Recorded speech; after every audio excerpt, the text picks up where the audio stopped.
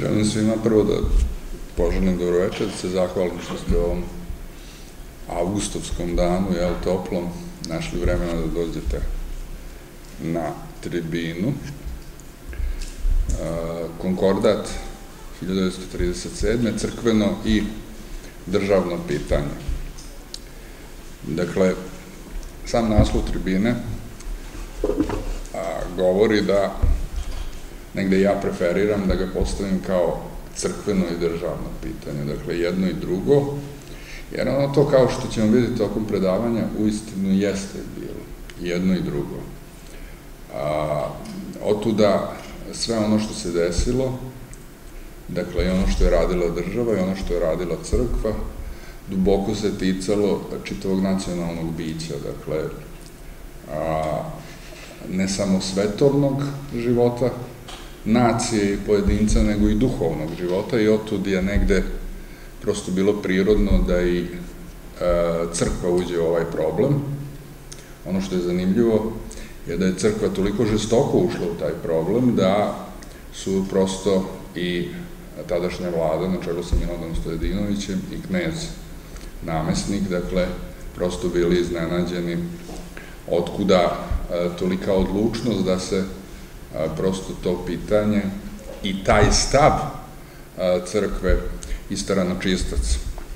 Ono što je još zanimljivo na početku, da kažem, onako prvi utisak kada bacite pogled i kada osmotrite tu 1937. godinu i možda godinu dve pre toga, kada je bio uvod u krizu, i godinu dana posle toga, kada je trajala ta kriza, kada je taj front bio otvoren, e, crkve i države. Dakle, ono što možete da vidite kao prvo je e, to da je država u sve mehanizme koje je imala. Dakle, e, vlada Milana Stojedinovića je, dakle, Jugoslovenska radikalska zajednica u koaliciji sa muslimanima Mehmeda Spahe i slovencima praktično Antona Korošeca, kontrolisala dakle i Narodnu skupštinu i Senat i to je bila politika koja se oslanjala na stavove kneza Pavla, namestnika, dakle, negde on je i poverio mandat Milanu Stojedinoviću, jer je negde oformio i definicio tu politiku. Dakle, u sve to u sav taj mehanizam uz zvanično izglasavanje konkordata 23. jula 1937. godine u Narodnoj skupštini, vidimo da je negde usled otpora koji je pružila crkva, država se na neki način povukla posle toga. Dakle, svi mehanizmi su bili tu, sve je formalno pravno odrađeno, ali nešto prosto nije tu štimalo. I to je onako jedan, jedan zanimljiv deo. Dakle, neki tihi otpor koji se ne može staviti u institucije, koji nije kroz institucije išao, je negde, uh, negde praktično pobedio i odneo prevagu, možemo slobodno reći, nad jednim stavom koji je trebala država da isforsira i izgura. I ćemo reći da ona imala razlog zašto je zauzela takve stavove, dakle imala je svoje razloge koji u političkom smislu mogu da se pravdaju. Naravno, ne moramo se slagati sa njima, ali mogu da se pravdaju, ali s druge strane reći ćemo i u samom konkordatu bar nekoliko tačaka da vidimo zašto je to, dakle, Srpska pravoslavna crkva, zašto se ona pobunila protiv njega i šta je to što negde je bilo apsolutno neprihvatljivo, neprihvatljivo Srpskoj pravoslavnoj crkvi. Pre toga bi samo rekao nekoliko rečenica, prosto odnos crkve i države. Ono što su Srbi kao narod, kao nacija primili, to se odnosi na jednu vizantijsku praksu. A Vizantija je, primajući pravo svetovno od rimskog carstva, rimsko pravo, ona je bila zasnovana na rimskoj pravu, pravu i hrišćanskoj religiji, vremenom gradila ono što se kasnije zvalo simfonija crkve i države. Pazite, to nije bilo u početku. Otuda ćete često čuti optužbe sa zapada, pre svega e, prema Vizantiji, za cezaropapizam, odnosno vlast cara nad crkvom. Crkva je negde po njima a, a, počinjena i crkveni velikodostojnici, počeši od patrijarha, su samo činovnici carstva. A car je tu glavni, ne samo, pazite, svetovni vladar, nego i prosveštenik. Što negde u prvim vekovima istorije Vizantije ima osnova, jel pazite, u starom Rimu je car bio pontifex, vrhovni, dakle, sveštenik i prosveštenik. I to je Vizantija samo nasledila. I vidjet ćete kod Vaseljanskih sabora u šestom veku kod Justinijana. On se zaista sve pita. I zaista ga crkva tako doživljava. A, u početku, u četvrtom veku, možda stidljivo počinju prve naznake da crkva treba da ima određenu autonomiju, dakle da se razdvoje te dve grane vlasti, odnosno a, te dve grane koje negde upravljaju, upravljaju narodom. Pazite, to nije autonomija, to nije razdvajanje ono kao na zapadu, ni slučajno, nego prosto da se a, ne meša u a, određena pitanja, dakle, koja ima država, da se tu prosto crkva ne meša, i s druge strane da se država ne meša u pitanja crkve, tu se pre svega mislilo na dogmatska pitanja. Jer pazite, kada Justinijan caruje Vizantijom, on se prosto mešaju dogmatska pitanja i na neki način to se prihvata od strane svih episkopa i patrijarha tadašnjih, pa tadašnjih je bilo pet, jel, ako izuzmemo Rim, tadašnje četiri, Aleksandrijske, Antiohijske, Jerusalimske, dakle i Carigradske. Dakle, taj deo je polako bledeo u Vizantiji, da bi već u 7. veku imali otpore Maksima ispovednika, a onda i uh, Jovana Damaskina i Teo, Teodora Studita, gde je praktično sve više zastupan stav u Vizantiji, da se u dogmatska pitanja prosto car ne može da meša i da on nije prosveštenik. Da on prosto nema to dostojanstvo. To dostojanstvo ima patrijarh. Dakle, i Sveti arhijerejski sabor. Dakle, to su tela crkve koja izlaze sa verskim stavovima i ukoliko je duboko bitno pitanje za državu, dakle, pitanje koje proseca jedan ne samo svetovni, nego i psihološko-duhovni nerv stanovnika imperije, jel? tako je bilo posle i u državama i u srpskoj državi, dakle, da tu crkva zauzima određen, određen stav. Zašto ovo govorim? Zato što je po pitanju konkordata upravo to se desilo, jer e, niko u konkordatu nije hteo da menja dogme pravoslavne crkve, ali ono ipak zasecalo, ulazilo u a, jedan model oblikovalo i moglo da oblikuje jedan model duhovnog života za koji je Srpska pravoslavna crkva smatrala da je nepovoljan. Još par rečenica samo o ovome. Dakle, kada je bila borba ikonoboraca careva, oni su pokušali da vrate taj autoritet i oni su hteli dogmatski da nametnu Dakle, da se ikone ne poštuju. To je dogmatsko pitanje bilo, da li će se ikone poštovati ili neće. Oni su hteli da nametnu taj stav i krenula su, kao što znamo, velika gonjenja crkve, ali zanimljivo je i tada, carevi su bili sigurni u pobedu, međutim, crkva je na kraju pobedila.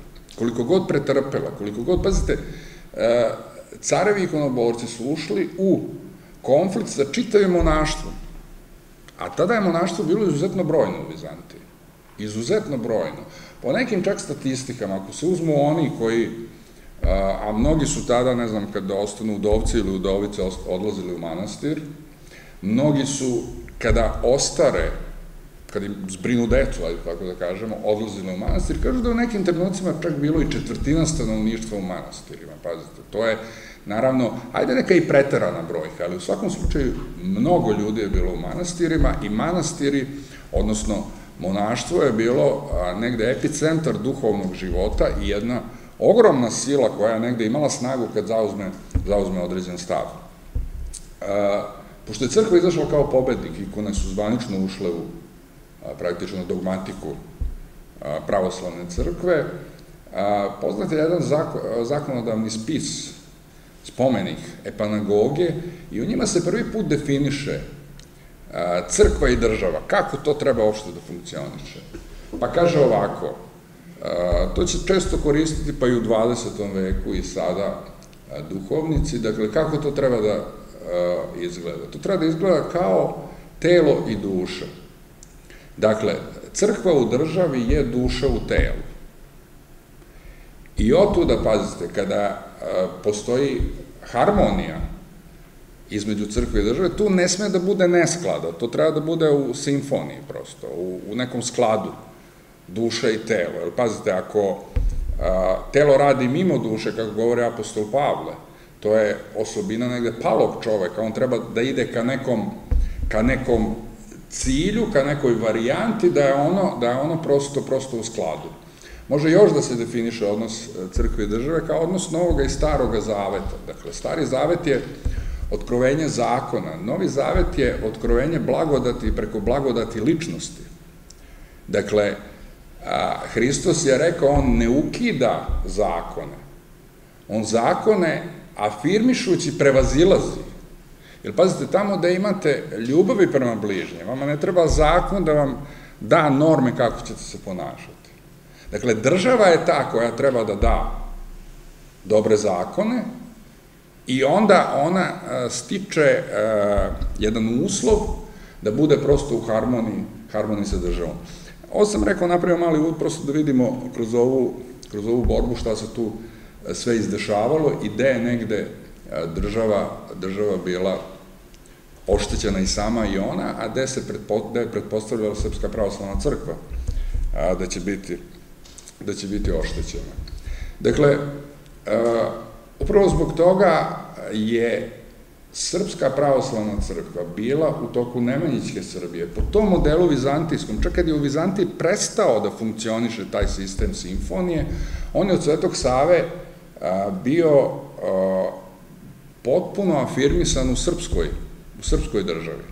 Kao što znamo, posle najezde Turaka, država je pala, ostala je negde crkva sa svojim autoritetom koja je istovremeno, pazite, i čuvala i identitet i obrede i državu i zakone, ali ih istovremeno crkva uvek i prevazilazi. Njoj nije, e, njoj nije motiv da se zadrži na tom zemaljskom. To zemaljsko je negde, negde uslov, ta harmonija je uslov negde za jedan duhovni napredak za jednu realizaciju, za jednu realizaciju ličnosti, blagodatnu realizaciju, za jedan susret, a, dakle, susret sa tvorcem koji je, pazite, liturgijski, jer crkva može bez države, ona projavljuje svoju duhovnost, blagodat, duha svetog, liturgijski. Kad ima država, ona je projavljena, kad je u harmoniji sa državom, ona je projavljena i u državi, u svetu. Otud ta ta prosto, prosto povoljnost crkve i otud je potrebna ta harmonija. Međutim, kao što znamo kada je stvorena Jugoslavija, e, nije se ni moglo e, više ići na varijantu da Srpska pravoslavna crkva ima nekakav status koji je e, praktično imala, imala kroz vekove. Nije to Srpska pravoslavna crkva ni tražila. S druge strane, jedan model odvojenosti crkve i opšteverskih zajednica od države, a, negde nije prihvatio ni kralj, a ni srpski političari u prvom, prvom ustavu, a i drugi prosto političari, pa su verske zajednice, pogotovo tri glavne, bilo je, pazite, 47% pravoslavnih, 37% katolika, 11% muslimana. Bilo je još nešto malo jevreja i protestanata, dakle, svi oni su sada bili u jednom specijalnom, specijalnom statusu. Dakle, nije bukvalno verske zajednice, pa među njima i Srpska pravoslavna crkva, nisu bukvalno odvojene od države, ali nijedna nije mogla više da preferira u jednoj takvoj državi, da preferira na neki način, na neki položaj koje je imala Srpska pravoslavna crkva u srpskoj, srpskoj državi.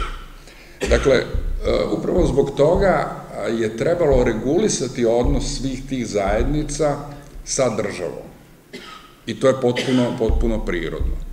I sve te zajednice su jedno za drugom regulisale taj odnos. Zakon o Srpskoj pravoslavnoj crkvi je donesen 1929. 1931. godine je donesen Ustav Srpske pravoslavne crkve, a 1930. je recimo donesen zakon o islamskoj verskoj zajednici, iste godine o jevrejskoj, da li je godinu dana ranije, 29. ili 30. isto je donesen zakon kako se reguliše odnos države i protestanta. Dakle, ostala je jedino katolička crkva, s kojom nije regulisan odnos, ali e, e, tu je bilo teže i regulisati taj odnos, jer pratilo ga jedno istorijsko breme, jedne, e, jedne težine prosto, jednog odnosa koji je trajao kroz vekove opet Srba u austrijskoj monarhiji, koja je bila izrazito, izrazito katolička, i na neki način sada su delovi te monarhije došli u sastav nove jugoslovenske države, koji su ti narodi, pre svega Hrvati i Slovenci, videli kao veliko srpsku tvorevinu. Pazite, i sada imate zaista jedan osetljiv problem. Kako prosto to na neki način rešiti? Te pregovore, ti pregovori su početi već 20. godina, ima naravno još jedna karakteristična stvar, što je jedino kod Rimokatoličke crkve, centar za rešavanje problema je van države. Znači, centar je u Vatikanu, koji ima dugu i versku i državnu tradiciju i o uticaju Vatikana prosto ne moramo da govorimo. Dakle, to je samim tim već komplikovanije. Breme istorijsko je isto, znači taj balast je takođe davao jednu dozu komplikovanosti da se realizuje taj sporazum i tokom pregovora 20. godina u kojima je uzao učešće kralj koji je želeo da reši to pitanje, pogotovo zato što su i hrvatske stranke od starta, praktično pre svega hrvatske, od starta su pokazala, pokazivale netrpeljivost prema novoj državi. Hrvati su Hrvatska seljačka stranka, te kada je promenila ime iz Hrvatska republikanska seljačka stranka, su ušli u parlament 1925. godine, da bi kao što znate 28. godine je bilo ubistvo u Skupštini, opet prekid odnosa, diktatura i tako dalje.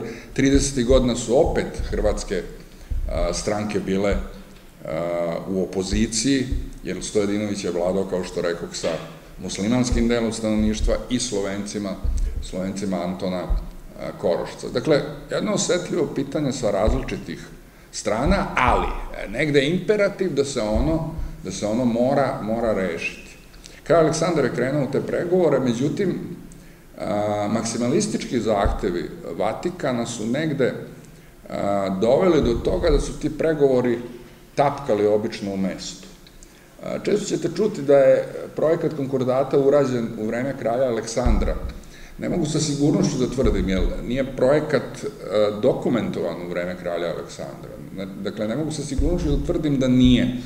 Ali sumnjam da bi kralj Aleksandar prihvatio takav jedan, jedan projekat konkordata. Dakle, pregovori su trajali, tapkali su u mestu i šta više, Čak i Stjepan Radić, vođa praktično Hrvatske seljačke stranke i vođa Hrvata, tada neformalni, je negde bio protiv toga, ali on je poznat kao jedan u dobroj dozi čovek koji je bio antiklerikalac i negde ni on čak nije podržavao, a upravo iz razloga da kaže gubi se, gubi se suverenitet države. Tako da su ti pregovori tapkali, međutim 30. godine donose novi, ajde tako da kažemo, motiv, pošto su svi ti zakoni, kao što sam rekao, negde do 31. godine sa Ustavom Srpske pravoslavne crkve doneseni, dakle, donosi negde novi motiv da se ti pregovori konačno reše, dakle, i sa, i sa Vatikanom. No, 1934. godine kraj Aleksandar, kao što znamo, je ubijen, a Projekat konkordata je već postojao, to je, njega je preuzela vlada Bogoljuba Jevcića pre Milana Stojedinovića. Otuda, dakle, Milan Stojedinović se negde i pravdao da on nije taj koji, to je, to je tačno potpuno, da on nije taj koji je negde učestvovao čak ni u pisanju konkordata, nego ga on prosto preuzeo od prethodne vlade. E sad, on je govorio što je takođe tačno, da je taj projekat prethodne vlade nastao kao rezultat prethodnih 10-15 godina pregovaranja, jer pa je na kraju se došlo do jednog oblika i modela i do ključnog, dakle, završnog dokumenta koji je on eto dobio, a on mora da ga reši, odnosno, on hoće da ga reši i da ga progura kroz Skupštinu, zato što je negde politika integralnog jugoslovenstva, dakle kralja Aleksandra, osetilo se da ona ne može da prođe. I knez Pavle, kada je došao na vlast, on će pokušati sa jednim otvaranjem na razne načine, pre svega prema Hrvatima, rešavanjem hrvatsko-srpskog spora, da stabilizuje tu državu. Da su mu namere bile časne, to svakako ne sumnjamo, no koliko je u tome uspeo, to je negde istorija pokazala i pitanje je da li u jednoj takvoj državi bi bilo ko uspeo nešto više da uradi.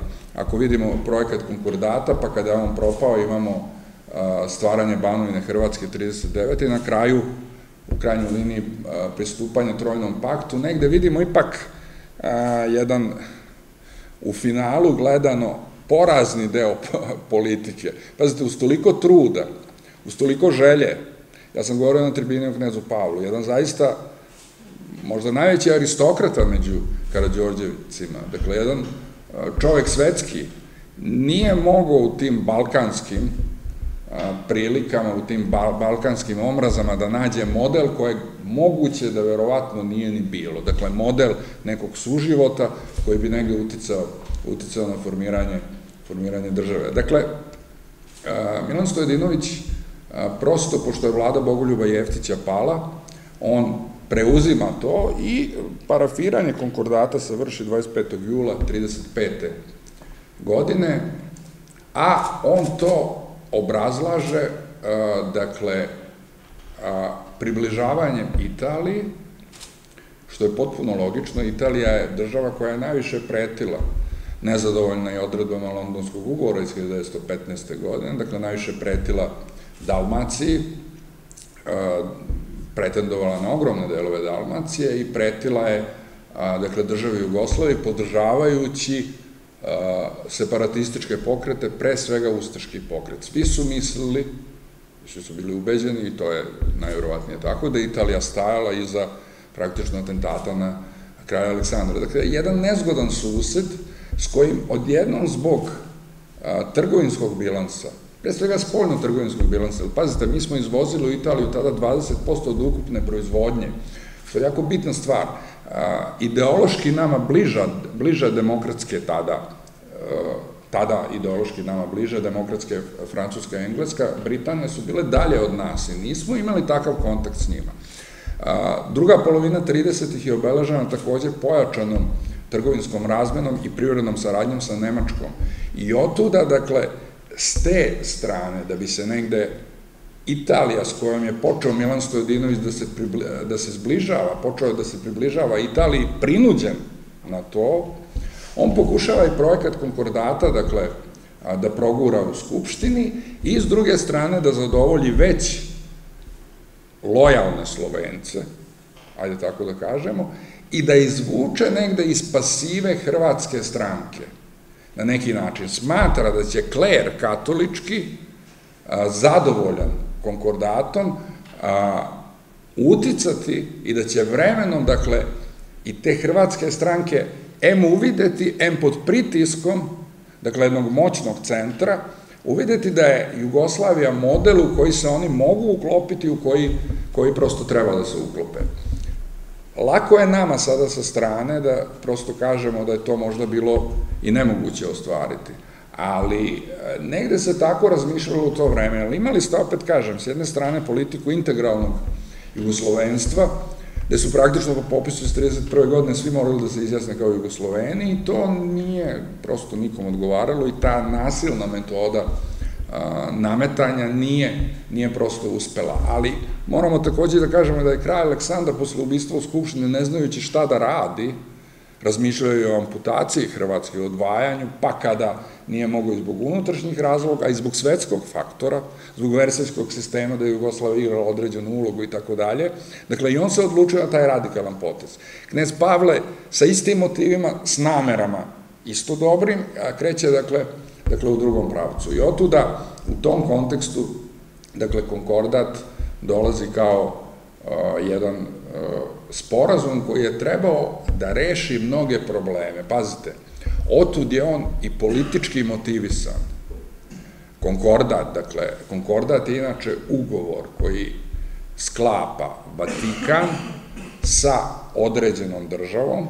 Prvi je sklopljen u Vorcu 1122. godine, to je posle takozvane borbe za investituru, dakle, koji on sklapa sa određenom državom, a tiče se položaja katoličkih vernika, katoličkog sveštenstva i najviših arhijereja, odnosno biskupa i kardinala u okviru te države. Dakle, to je sporazum koji, na primer, Francuska i Britanija nisu morali da imaju, ali Jugoslavija, negde izbog pritisaka, izbog svih ovih stvari koje sam rekao, negde morala da ima, a Milan Stojedinović i vlada su osjećali da je to potrebno, potrebno da ima. A, Milan Stojedinović e, je bio visprem političar, on je bio još u vladama e, Nikole Pašića početkom 20. godina kao ministar financija, bio je i u vladi Bogoljuba Jeftića, ministar financija, kada je 35. godine preuzeo vladu. Takođe upadaju u oči jako dobri odnosi pre zaoštravanja borbe Milana Stojedinovića i Patriarha Varnave. Oni su bili izuzetno dobrim odnosima i tu je bilo veliko poverenje, dakle, Srpske pravoslavne crkve, ne samo u kralja Aleksandra, kao što sam rekao, nego i u sve ostale političare. Dakle, bilo je poverenja da konkordat neće narušiti, neće narušiti negde elementarna prava Srpske pravoslavne crkve i njenih, njenih vernika. Otuda, kao što rekoh, crkva i nije reagovala.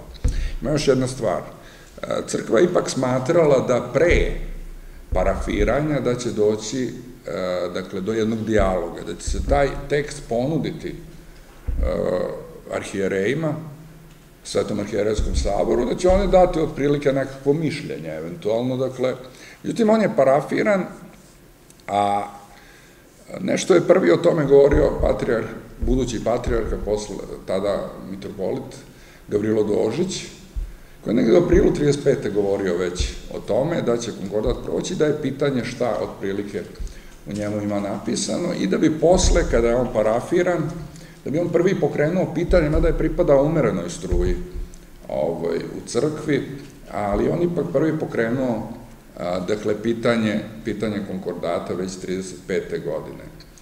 A, međutim, godinu dana je bilo zatišje zato što Milan Stojadinović nije imao nije bio siguran da može u e, Senatu da prođe konkordat, on je bio sigurno u Narodnu skupštinu i upravo zbog toga je on godinu dana praktično i rekao, kad je već čekao toliko dugo, može još da čeka godinu dana, da bi već 36. godine u drugoj polovini krenulo, dakle, krenula aktivna priča i aktivan govor o tome da konkordat samo što neće biti stavljen na praktično izglasavanje u Skupštini. Dokle se crkva informisala, naravno, i saznala je šta piše u konkordatu, a prosto ću ovde navesti e, samo dva, tri člana, prosto da vidite zašto je morala i Srpska pravoslavna crkva da se uključi u taj problem. Već prvi član e, projekta zakona koji je trebao da se usvoji, kaže a, da se katoličkoj crkvi priznaje svakom od njenih nastupa ili obrada puno pravo da slobodno vrši misiju u Kraljevini Jugoslavije. Pazite, da vrši misiju. A, ovo je stav možda koji uz neke druge najviše ugrožava prava Srpske pravoslavne crkve. Pazite, oko ovog stava se i razvila polemika. Kad je u pitanju Ustav Srpske pravoslavne crkve, kaže se samo da crkva javno ispoljava svoje bogosluženja, dakle i svoje stavove, kroz bogosluženja javno ispoljava svoje stavove i svoju veru. Termin misija, pazite, jako zaparao uši svim arhijerejima. Zašto? Zato što posle su odgovorili neke katolički biskupi, pa su rekli da imaju ustavu SPC gde se kaže između ostalog da negde crkva vrši misiju. Međutim, pazite, misija se vrši i to stoji u ustavu SPC zajedno u sklopu drugih stvari koje vrši crkva, ali to se obično radi u nekim inovernim sredinama, paganskim, rubnim. Pazite, vi ako vršite misiju, možda ako odete u Afriku, da je nekakav paganizam, da je i tako dalje. Tu crkva ističe možda, opet između ostalih stvari, da vrši misiju, odnosno da propoveda na jedan snažniji način evanđelje kako bi negde ne pridobila, pridobila je malo grub izraz, nego kako bi posvedočila otkrovenje koje je crkva dobila. Ako vi to kažete u jednoj državi koja ima 47 pravoslavnih i to istaknete onako bombastično u prvom stavu, misiju, pazite, vi govorite, kao što je govorio profesor, profesor Bogoslovskog fakulteta Sergej Trojicki, kaže da ispada po tom stavu da su Srbi naznabožačko pleme, koje nikada nisu ni upoznali ni hrišćanstvo i sada dolaze na neki način misionari, dakle, da nas prosvete, verski da nas prosvete. I drugo, pazite, ako vi dobijate pravo da vršite misiju, gde je ta misija ograničena, na koji način je ograničena, koje metode možete da, kojim metodama možete da se služite. Tu negde stavovi koji su izneti u konkordatu idu u prilog da, evo recimo jedan stav, ako se sklopi brak između katolika i pravoslavnog, bilo muško-žensko u braku, da je Hrvat ili, ili Srbin, odnosno katolik ili pravoslavac, po konkordatu uvređena katolička strana ima pravo da decu odgaja u katoličkoj veri. Pazite, to je sad jedna jako ozbiljna stvar i država se obavezuje ako potpiše taj konkordat, dakle, država se negde obavezuje da obezbedi to katoličkoj strani. Na koji način to da obezbedi? Šta ako neće? Mislim, pa tu elementarno e, gubi pravo izbor to dete. Ali, na koji način da obezbedi? Silom jedino. Mislim, može nekada milom, a ako se opredeli za katoličku veru, ali ako se ne opredeli, onda država je negde dužna da obezbedi, da obezbedi to silom. Tako, da negde taj termin misija je negde takav da su mnogi rekli da to može da izazove, može da prouzrokuje budući, dakle, prosto i verski rat u toj državi, da to prosto ne može da, ne, ne, ne može da prođe. Ima tu još jedna stvar jako bitna, pazite, Srbi su u okviru austrijske, posle austrougarske monarhije, svojim privilegijama koje su prvi put dobili od cara Leopolda 1690. godine, ono glavno, posle će one proizaći u, u, u, čak i u teritorijalnu, političku i teritorijalnu autonomiju zahtevi. Ali prvo je bilo versko. Dakle, prvo je misija crkve bilo da zaštiti versko, da se zaštiti u okviru jedne katoličke države, da imaju pravo slobodno da ispovedaju veru. A vi sad pazite, dolazite u jednu jugoslovensku državu koju Srbi osjećaju kao svoji, odjednom katolička crkva dobija mogućnost da vrši misiju među pravoslavnim, među nisu oni rekli među pravoslavima, ali to se prosto negde nameće samo od sebe, jel? I otuda, otuda crkva to negde nije mogla, nije mogla da toleriše. Pazite, imate zanimljivo u jednom stavu, kaže da se popuna biskupskih mesta vrši, a pazite, ovo je sad jako bitno, vrši od strane, dakle, rimskog sveštenstva, odnosno katoličkog sveštenstva, ali naravno, blagoslov konačni dolazi iz Rima, jer niko bez Vatikana ne može da postane biskup, sveštenik i tako dalje. E sada, kada se ona popune ta mesta, onda je država dužna da u roku od 30 dana to potvrdi ili ne potvrdi. Ako to ne uradi u roku od 30 dana, onda praktično Vatikan i čitava katolička organizacija popunjavaju ta mesta po svom nahođenju. Pazite, ovo je jako bitno. Zašto? Zato što država mora da potvrdi, bez obzira što je izbor duhovni, što je izbor duhovnika, država mora da potvrdi taj izbor. Zašto? Zato što se to tiče i njenih zakona. Zato što to lice može da bude, mislim, Verovatno ne bi bilo, ali može da bude recimo kriminalac. Može da bude a, negde pod nekim optužbama, sumnjama države, pod istragom i tako dalje. Vi ne možete dozvoliti prosto bilo kom stranom centru da on u bilo kojim uslovima ima mogućnost, dakle, da bez blagoslova države a, praktično popunjava neka bilo koja mesta. U ovom slučaju biskupska, sveštenička i tako dalje. Recimo, a, što se tiče pravoslavne crkve, samo se kaže da se mesta popunjavaju a, i da se overavaju na neki način kraljevim ukazom. Znači, a, može crkva da izabere a, patrijarha, arhireja, koliko, i da čeka koliko god hoće, ona mora da sačeka taj, taj kraljev, kraljev ukaz i tek onda on postaje, postaje to što jeste. To je jako bitno da država prosto sama sebe zaštiti. Ima još jedna stvar jako bitna. Kaže se u jednom članu da, što praktično izuzima negde u nekom delu katolički kler od krivične odgovornosti i odgovornosti po pitanju, kada je u pitanju zaštite države. Jer se kaže da kada se nađe da je neko katoličko lice iz klera optuženo, da onda ima pravo katolička crkva da traži da se formira komisija koja će odrediti, koja će biti sastavljena od državnih organa i od organa katoličke crkve i koja će negde odrediti da li uh, je to lice krivo ili nije. Znate, to je jako, neki su navodili primer hipotetički, utvrdi se da neko sprema atentat, iako neki svešteni katolički. Naravno, toga nije bilo, ali recimo, utvrdi se to i država pokrene postupak, ali ne može, ako katolički biskup, u čijoj diocezi je taj sveštenik, ako on prosto e, to ne odobri, ali onda po njegovom zahtevu može da se formira komisija, dok ta komisija to sve obrađuje, pa to je može da nastavi to da radi. Jer on je slobodan dok ta komisija ne donese, ne donese neku odluku.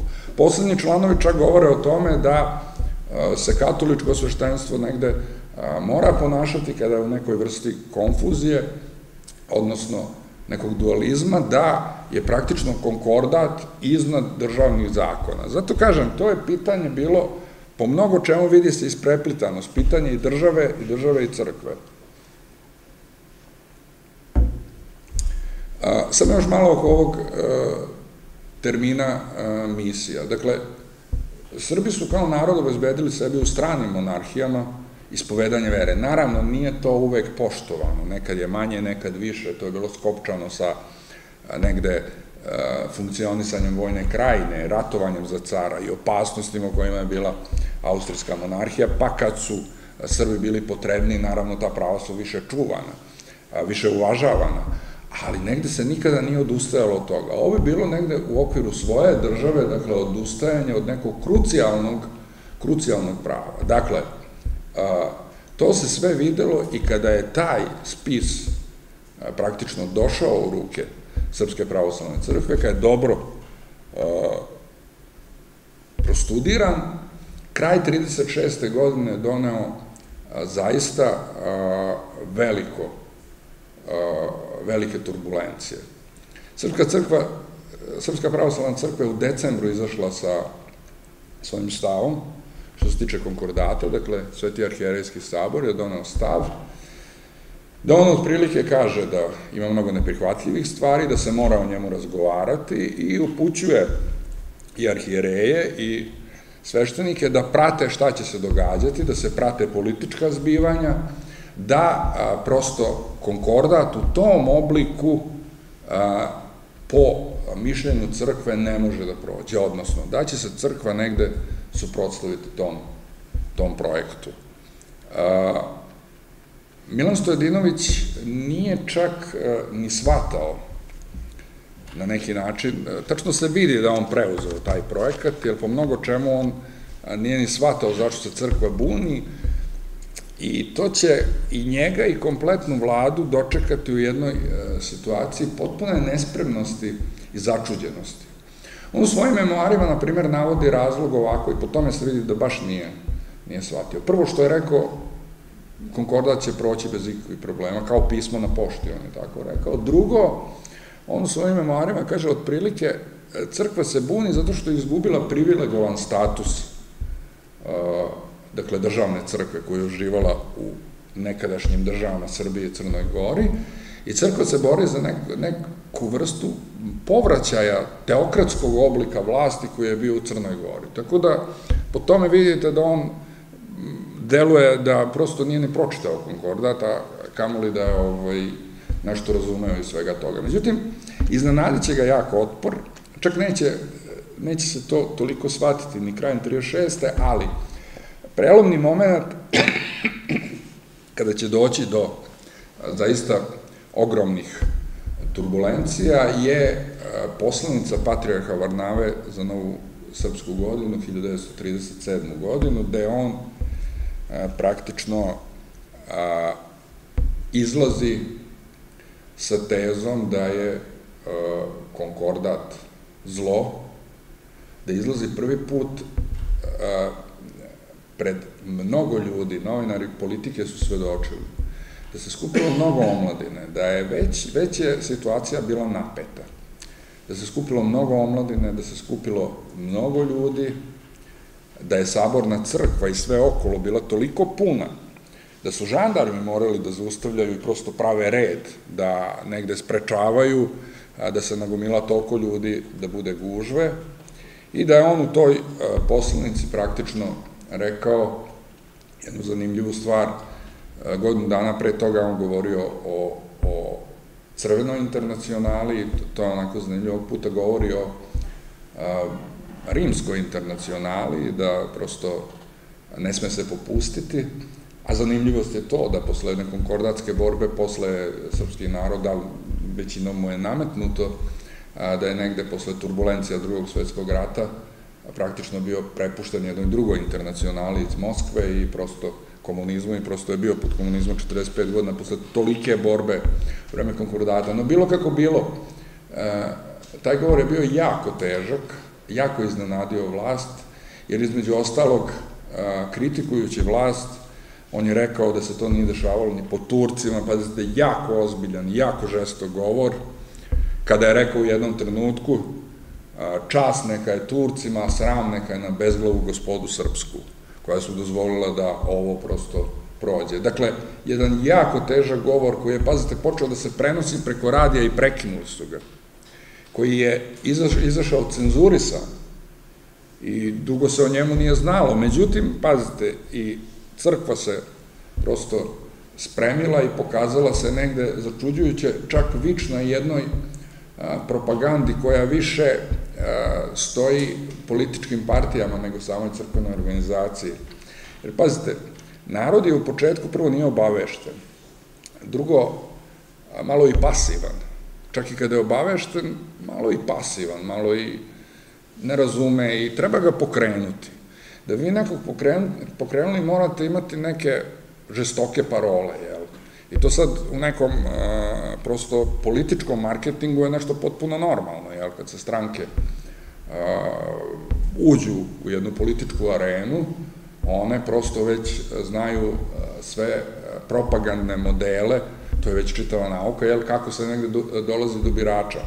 E sad, u tom momentu, znate, ako se među običnim ljudima dva meseca posle te pasivnosti pričalo o tome da ako konkordat prođe, da neće Srbi imati ni slavu, da, ne znam, neće smeti da idu u crkvu, da neće, znači da je neko i taj propagandni moment jako dobro odradio, jer to je bilo naravno Nigde ne piše u konkordatu da Srbi neće imati slavu, nigde ne piše da e, neće smeti ići u crkvu, nigde ne piše, jel, to je jedna banalizacija, jedna banalizacija e, čitavog tog slučaja, ali je negde to pokrenulo, pokrenulo narod, tako da je negde i crkva taj propagandni moment, moment jako dobro, jako dobro odradila.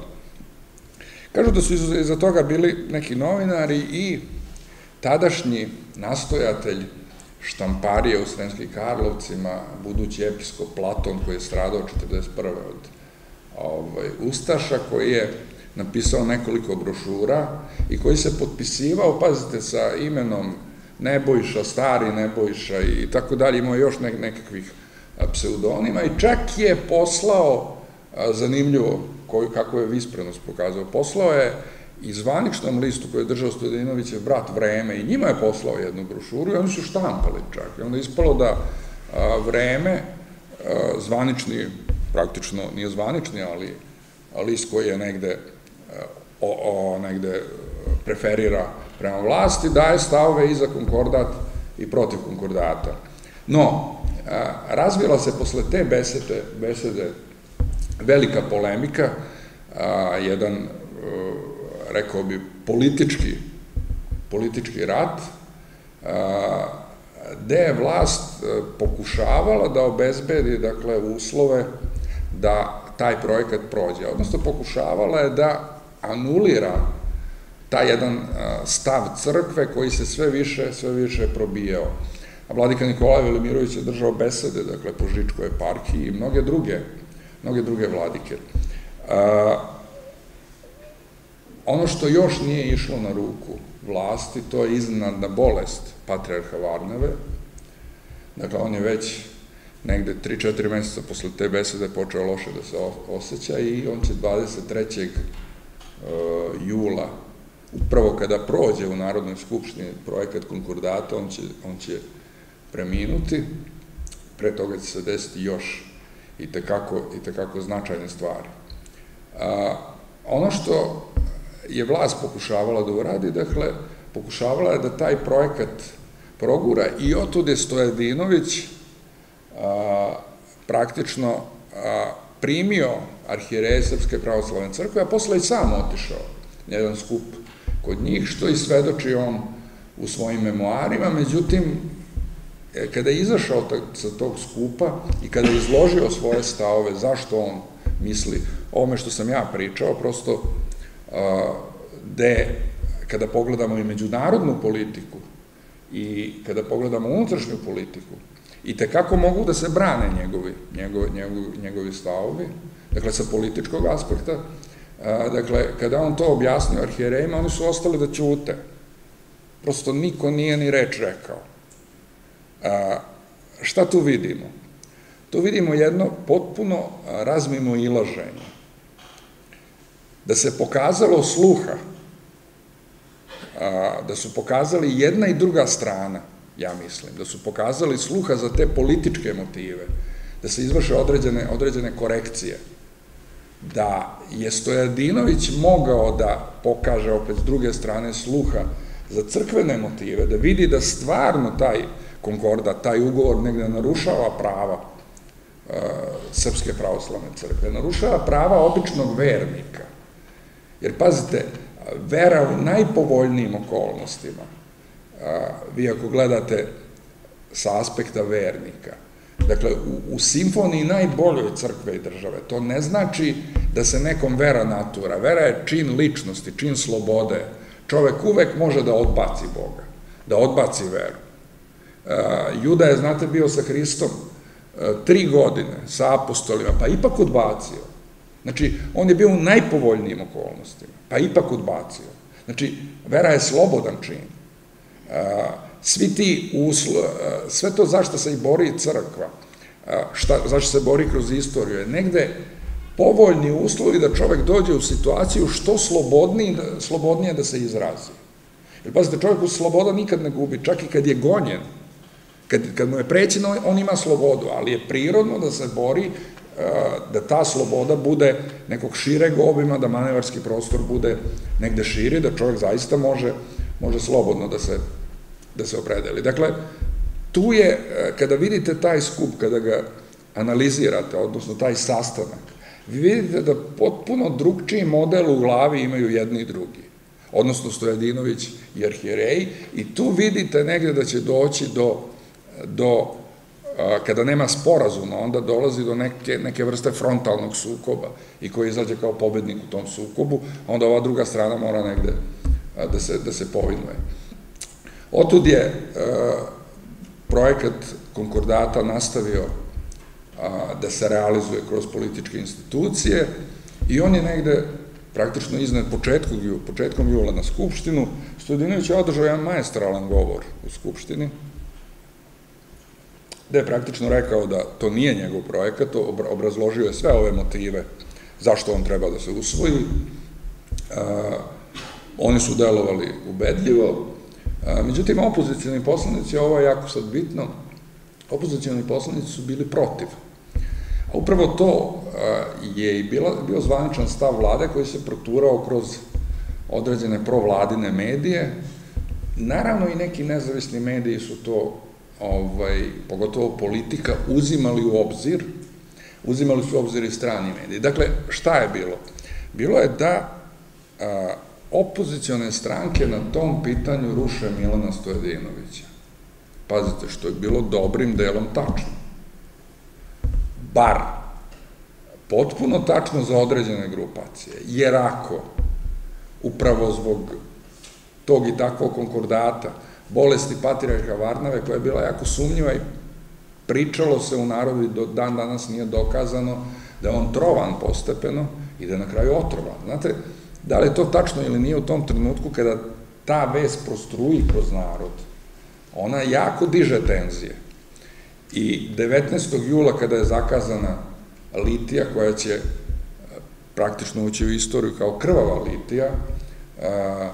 Dakle, policija je odredila praktično put kretanja litija da ne može da prođe pored Narodne skupštine, upravo je bilo, bilo su zasedanja Narodne skupštine. Međutim, litiju koju je predvodio praktično mitropolit Dositej, koji je negde vodio arhijerejski sabor dok je patrijar bolestan, i u toj litiji je bilo nekih 60 sveštenika što episkopa. Dakle, ta litija je krenula upravo pored Narodne skupštine, a onda je na nekoliko upozorenja milicija na kraju reagovala tako što je htela da rastara litiju. U toj svoj gužvi, pazite, ovo sad jako bitne stvari, u toj svoj gužbi vladika Šabački Simeon je bio povređen, udaren je pendrekom u glavu, liptala mu je krv, odnesen je u patrijaršiju i tako dalje, što, pazite, bilo neviđeno, neviđeno do tada. Ali pazite šta je tu u toj, a posle, pogotovo je vlada to prigovarala, bilo je zaista opozicijalnih stranaka, koje zaista ne interesuje, ne interesuje ni crkva, ni konkordat, ni, prosto ih ništa nije zanimalo u svemu tome, nego su videli zgodan moment da u tom otporu koje je crkva pružila i kojem se narod priključio da u tom otporu negde oni profitiraju. Pa ako vam kažem da su bili komunisti tamo, mislim šta komuniste briga za konkordat, komunisti su bili tamo i pazite, to, to, to, o tome svedoče, svedoče mnogi, čak su napadani prosto, dakle, od vlade, rekli su kakva litija, znate, upućeno na, na Gavrila Dožića i na Vladiko Nikolajeva Lemirovića, i Patrija Gavrilo govori u svojim memoarima da, bilo i komunista. Bilo i komunista, ali on kaže opet, mi smo prosto organizovali litiju za ozdravljenje patrijarha, mi smo bili otvoreno protiv tog projekta konkordata, je sad, što su se komunisti priključili, negde, ne možemo mi reći nekom nemoj doći ili, ili, ili, ili dođi, jel? ali je činjenica da je bilo, da je bilo mnogo opozicijonih pristalica, odnosno velika većina, činjenica da su iskoristili tu litiju i generalno te turbulencije da pokušaju da uzdrmaju, a verujte da je uzdrmana posle toga vlada Milana Stojedinovića, bez obzira što se sukob nakon godinu dana primirio. I činjenica kada je litija rasturena, sveštenici su prosto otišli, da su još dva sata posle toga miting držali opozicionari. Dakle, da su oni ostali, znači nije njima toliko bilo stalo do litije. Bila je još jedna nezgodna stvar, strani izveštači su dakle, slali izveštaj u svoje države. Izveštaji mogu negde da se svedu na jednu priču i oni su začuđeni. Prosto kaže, u Jugoslaviji se odigrava verski rat. Verski rat. A Milan Stojadinović je rekao, isto začuđen, kaže, pa ja imam verski rat u 20. veku i on prosto nije mogao nikako, nikako to da shvati, ali je smatrao još uvek da negde taj projekat mora da progura, međutim, upravo, dakle, 23. jula, kada je Narodnoj skupštini izglasan projekat, umro je patrijarh Varnava, iste noći. Dakle, tačno smrt kaže 23 sata, 23. jul, 24 sata, dakle, noć 23. na 24. Nije čak ni saznao, bio u nesvesnom stanju da je projekat konkordata prošao kroz Narodnu, Narodnu skupštinu. To je, pazite, sve strasti, još više, još više ustalasalo i to je sada jako teško bilo kontrolisati. To sada više niko živ na neki način nije mogao potpuno, nije mogao sa sigurnošću više da kaže da to sve može, može da se iskontroliše. Dakle, s jedne strane, pocenjivanje crkve od strane države, a, a s druge strane, i crkva je stidljivo ušla u sve to i nije planirala, ni hipotetički, nije planirala da će baš sukobi dotle da odu da će toliko da se negde praktično zaoštri da će praktično doći, doći gotovo, gotovo i država u pitanje. Pazite, vi kad uzbudite narod, onda ga je teško posle smiriti. Jer pazite, govori vladike Nikolaje su često išli na smirivanje posle toga. On je održavao govore, oni su išli na smirivanje, čak nisu išli na bunt, nego na smirivanje. I šta sad e, sledi, sledi prosto posle toga? vlada u prvo vreme pokušava, dakle, da objasni svoje i dalje razloge za konkordat i pokušava da minimizuje, dakle, da minimizuje ulogu litije i stava i snage crkve kroz to da je na neki način to bio više skupi masovan tako što su se skupili opozicionari i želeli da sruše vladu. S druge strane, crkva pokušava da kaže da je negde taj ugovor, iako se zaista mnogi ne razumeju njega, dodirnuo elementarni nerv crkve i da negde upravo je u tom smislu narodni gnev, narodni gnev negde, negde i pravedan. Narednih nekoliko meseci sledi praktično rat, pa su s jedne strane mnogi i činovnici koji su bili za konkordat otpuštani, a s druge strane Srpska pravoslavna crkva je strogo kažnjavala sveštenike koji su se izjasnili za konkordat. Malo ih je bilo, ali ih je strogo kažnjavala, ali je i na saboru, odmah posle izglasavanja konkordata, donela odluku da se praktično liše svih crkvenih dakle usluga ili ti da sveštenici uopšte ne idu u kuće kod onih poslanika i ministara koji su bili za konkordat, koji su glasili za konkordat. Dakle, pazite, ovo je jako ozbiljna priča, ovo se nije desilo, mislim, ja ne verujem da će se ovo desiti, ne znam ni kada će se desiti. E, znači, crkva je tu išla do kraja. Išla je vlada do kraja, ali pazeći opet e, jedno raspoloženje, pogotovo u unutrašnjosti, i vlada kao vlada, država kao država imala sve informacije šta se priča, o čemu se priča, kakvo je raspoloženje i na osnovu toga je negde donosila, donosila svoje odluke. Ukratko rečeno, već krajem 1937. godine, Janton Korošec e, praktično je rekao uvijeno da teško da ovakav projekat konkordata može proći, videći da se raspoloženje naroda ne menja, da se otpor ne stišava, videći odlučnost SPC, a već e, početkom 1938. godine, u februaru mesecu, i Milan Stojadinović se izjasnio, rekavši da prosto konkordat, čak i ako se bude sklapao, a treba bi u neko vreme da se sklopi, da neće i da ne može, nije to zvanično rečeno, ali prosto je rečeno, da ne može u ovoj, ovoj formi prosto da prođe. Knez namestnik e, Pavle je zvao, kada je država odlučila, dakle, da prosto ide ka pomirenju, zvao je, dakle, e, vladiku Šabačkog Simeona, koji je najviše stradao u toj litiji, primio ga izražio mu je žaljenje zbog svega što se dogodilo i tako dalje. A s druge strane, ovaj, e, vlada je tražila od crkve da svi anatemisani, što poslanici, što ministri, što lokalni političari, da se skine zabrana, odnosno, bukvalno rečeno, ona tema sa njih. Pošto se stvar počela smirivati, crkva je pristala, naravno, na to sve. Zanimljiv je još jedan razgovor koji daje patrijar Gavrilo Dožić, koji je posle toga, koji je pripadao, bez obzira što je stav crkve bio homogen, ali on je pripadao umerenoj struji, on je, pričajući sa vladikom Nikolajem, koji nije bio, pazite, nije bio za pomirenje uopšte.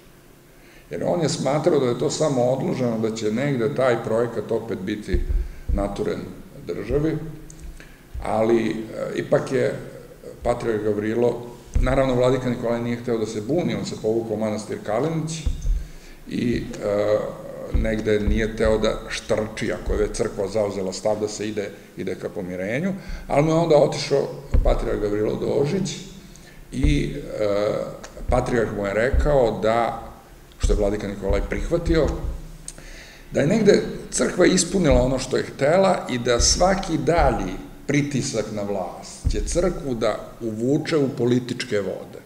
Dakle, jedan projekat koji nije odgovarao, koji je duboko zacecao u duhovno biće naroda, po ovim članovima, kao što sam rekao, dakle, on je negde osporen. Ako dalje bude crkva išla, ući će u neka državna pitanja, a sama država je imala po mnogo čemu da se izjasni negativno o ovom projektu, on je udarao po mnoge e, elementarne ingerencije, ingerencije države. No, kao što sam već rekao, država iz nekih drugih političkih razloga pokušala, opet kažem, koji se mogu upravdati, i tekako pokušala, pokušala da progura, progura taj projekat. Dakle, sve u svemu, taj sukob se završio određenim pomirenjem. Milan Stojedinović je pogotovo u pismu Vladike Nikolaju govorio da je njegovom svešteniku, parohu, bilo jako nezgodno što je morao da ga, odnosno što nije smeo da ga primi, i to je, to je zaista tačno bilo, jer on je predsednik praktično vlade, je što je on govorio, a i to je tačno bilo, u formalnom smislu, on je bio vernik, on je išao, možda baš ne redovno na liturgiju, ali je redovno sveštenik dolazi u kuću, išao je na liturgiju i tako dalje, tom svešteniku bilo prosto nezgodno i da negde treba da idu u pravcu da se to sve anulira i da se negde dođe do pomirenja. Kao što rekoh, crkva je uradila sve što je država tražila što se tiče anatema, što se tiče povratka u okrilje crkve, što se tiče povlačenja ekskomunikacije svih onih koji su glasali za konkordat, s druge strane, država se praktično ne zvanično, ali se osetilo da se iskreno obavezuje da taj projekat neće biti pokretan ovog tog konkordata, a ono što je podrazumevalo bilo koji sledeći, ako bi se desio da negde negde ovaj, se izvrši i da bude konsultovana Srpska pravoslavna crkva oko toga. Ono što možemo reći na kraju poslednjih pet minuta, sama tema tribine, kaže Konkordat 1937. crkveno i državno pitanje. Ono jeste bilo crkveno i državno pitanje, i jedno i drugo. Drugčije su reagovali crkva i država. Crkva, država je htela da ga sprovede, crkva nije.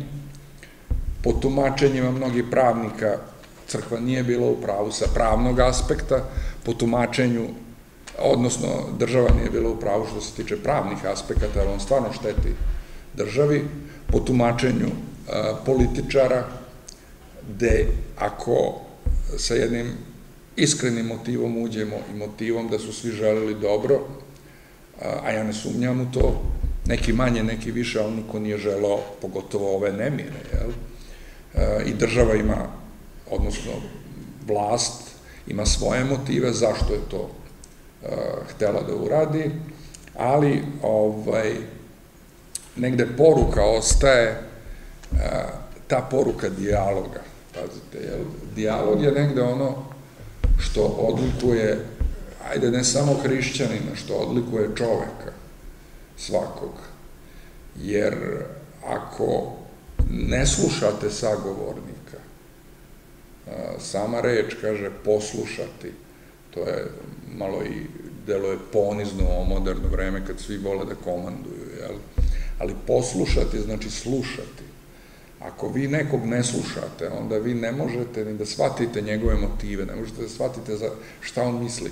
Ne možete osetiti ni e, simpatiju prema tom čoveku, simpatiju prema njegovim stavovima. Ne možete osetiti, pazite, e, ja sam radio debate e, po nekim modelima, jel? Oni su nastali na zapadu, ali imaju dobrih strana. Da se kaže elementarno u debati, radio sam to među učenicima, da se kaže elementarno, a, ako ti misliš drugčije, to ne znači da i ovaj drugi nije, bar donekle u pravu. Ne možeš svoj stav a, afirmativno graditi i pokazati ga afirmativnim time što ćeš negirati ovaj, to je pogrešan način.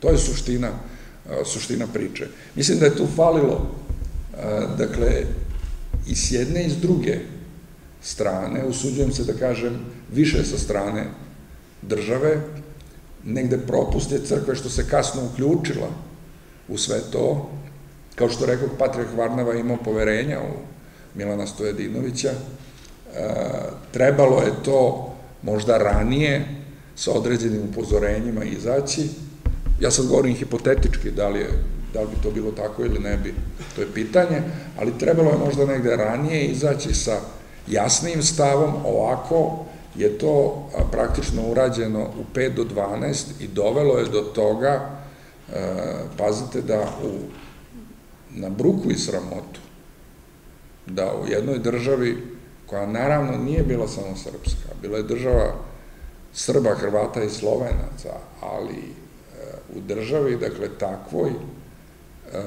da Srbi između sebe zaratuju, a ima, pazite, kazat ću i to, ima indicija i to jako bitnih, da je milicija koja je rasturala krvovu litiju bila sa zapada, iz slovenačkih i hrvatskih pokrajina.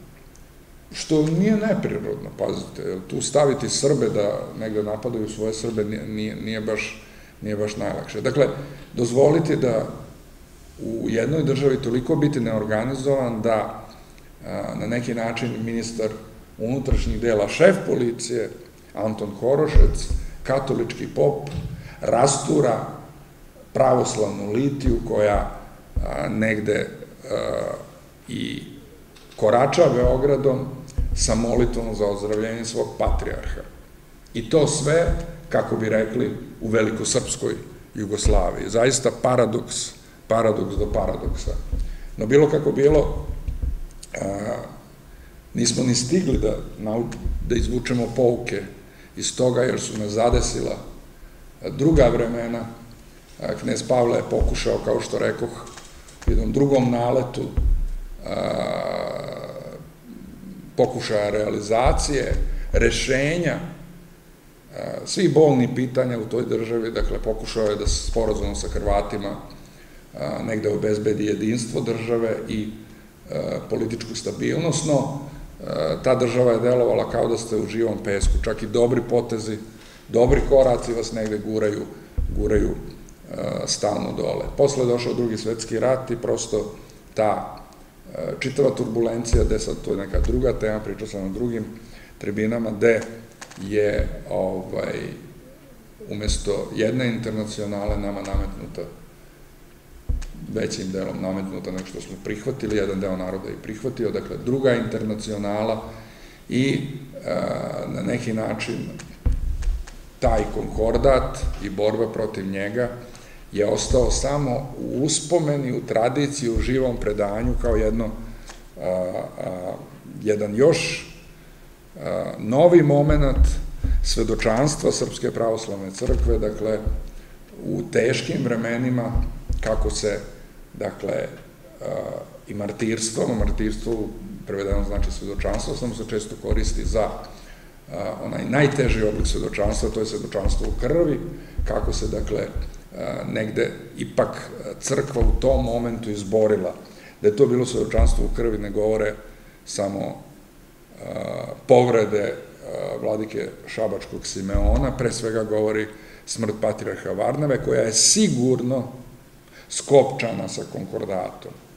Nije utvrđeno da li je otrovan, postoje indicije, ali je negde sigurno skopčana sa uopšte svim tim turbulencijama koje su bile. Kao što rekao, time ću završiti, jedan veliki nauk, veliki nauk, usuđujem se reći i